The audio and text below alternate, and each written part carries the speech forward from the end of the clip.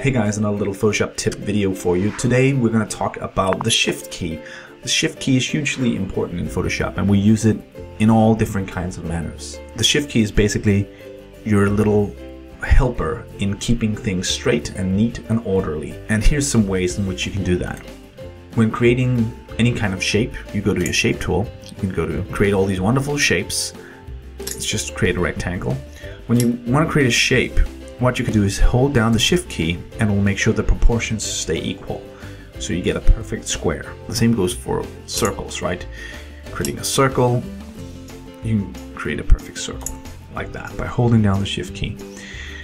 Now another cool way in which you can use it is if you want to transform something, we transform stuff every day. You remember the shortcut, right? Say it with me, Command T. By pulling in the bounding box, we can change and transform the object. Um, but if we hit shift while transforming, it keeps the proportions. Another way is that moving things around, shift will actually help you in keeping things neat and dandy. So if I move stuff around right now, it's just freeform moving it around. But if I hit shift while moving it around, it'll actually try to stick to the axes. Let's say I wanted to move this a little bit to the right and I wanted to stay in the exact same vertical space, I can simply hold down shift and then pull.